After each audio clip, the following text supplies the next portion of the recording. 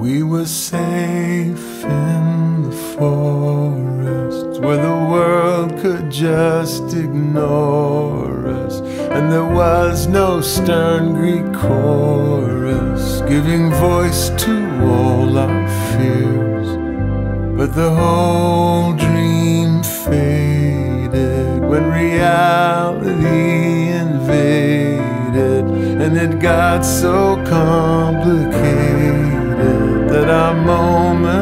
disappeared. No matter how we miss the boat, that ship has sailed, that's all she wrote. Bridges burn and chapters close, and you can't go back beyond.